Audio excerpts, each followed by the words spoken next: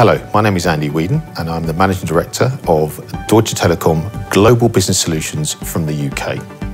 I'm here today to talk with Asahi Europe and International um, about um, a large digital transformation project that we worked with them on starting last year and continue to do that. You should know Asahi from being one of the largest brewery organisations in the world with famous brands such as Pilsner Urquell from the Czech Republic, Grolsch from the Netherlands, and Peroni from Italy, and of course the super brand, which is Asahi.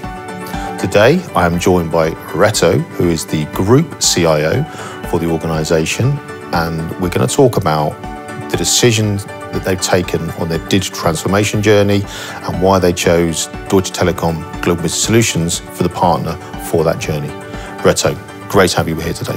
The pleasure is mine, Andy. Thanks a lot for having me. You've selected us to roll out a global SD-WAN for your organization across 200 sites. I need to ask you the question, what was it about SD-WAN and the growth and resilience that made you reevaluate your IT and decide on that platform? Yeah, very good question, Andy. So, so you know, this is part of a bigger transformation effort.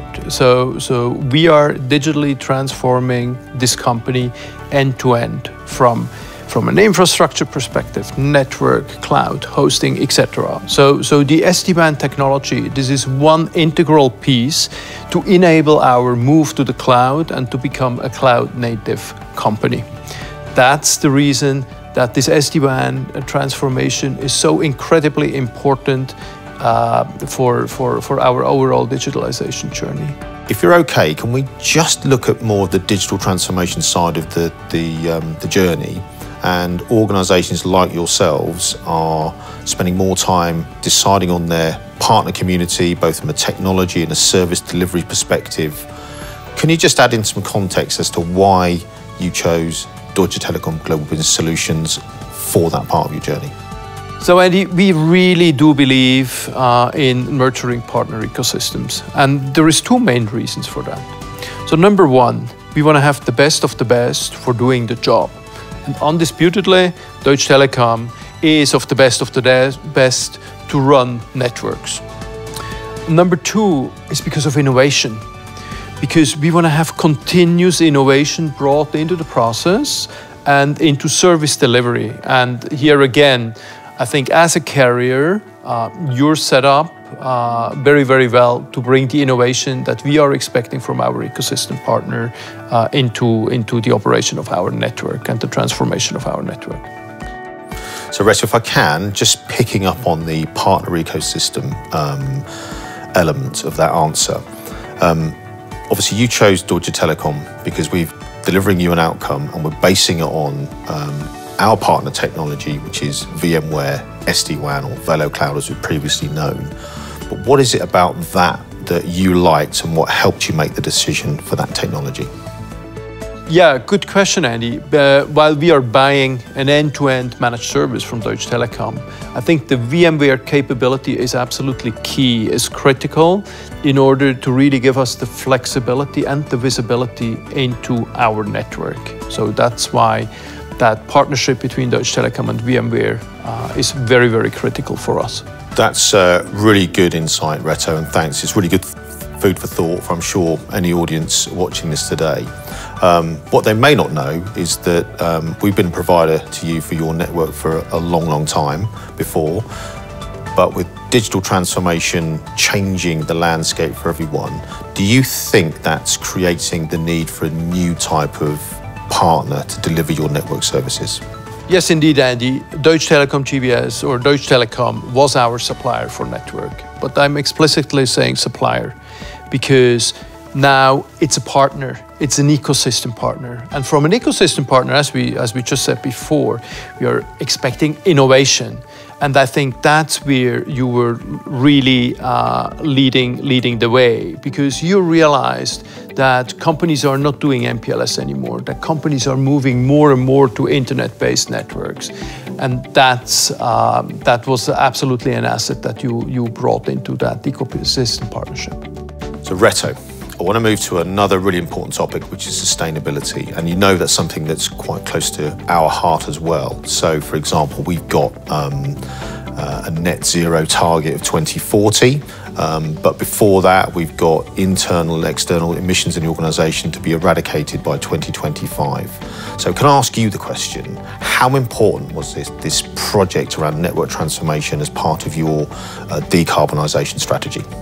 So the short answer is it was super, super important because we have some very, very aggressive targets to be uh, net zero by 2030.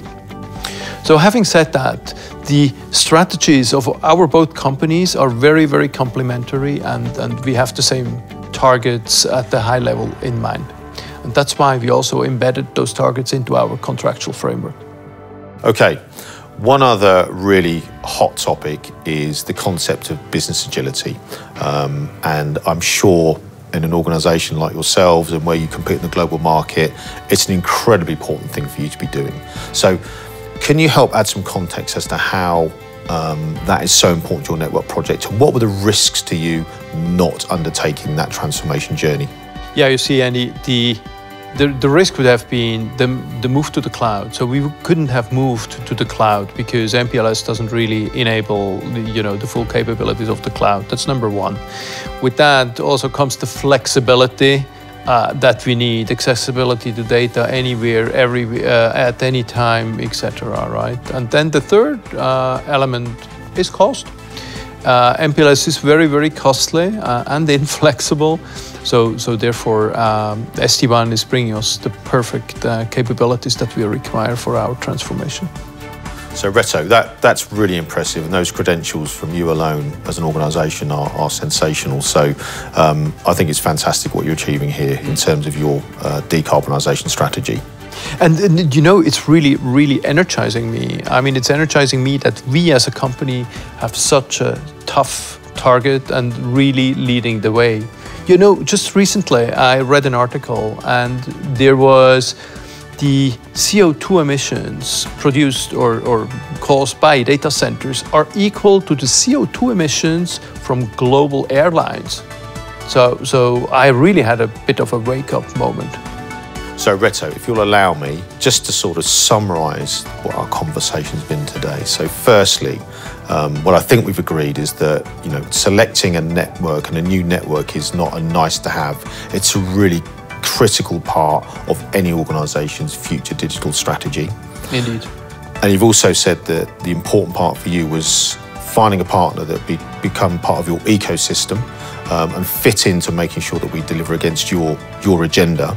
Um, and I think it's important because you've got to find a partner that you can trust, a partner that can do the planning and execute well on the plan, uh, because that's the only way you're going to achieve your your outcomes.